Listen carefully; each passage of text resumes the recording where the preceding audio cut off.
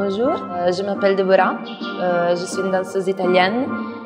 Je travaille à Rome dans une compagnie qui s'appelle Atacama. Je collabore avec euh, Nicola. On a une collaboration à Naples. Et je suis ici pour le festival. je travaille avec cet magnifique garçon pendant deux jours et demi.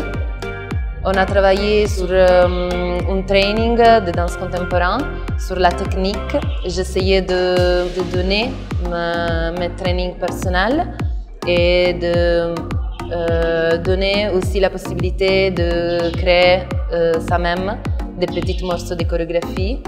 Comme ça, on a fait un mélange et on a travaillé beaucoup sur, euh, sur l'aspect de s'aider l'un que l'autre et être attentif avec soi-même, avec le besoin de le groupe.